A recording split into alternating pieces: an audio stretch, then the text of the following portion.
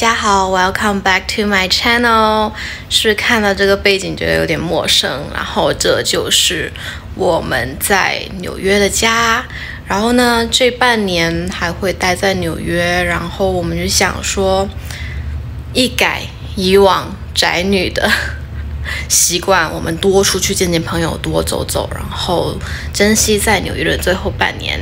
然后我今天呢就跟一个朋友约了吃饭，然后我们是已经真的是认识了很久很久，从小到大就认识的，然后也很幸运他也来了纽约留学，然后我们一起出去看看吧。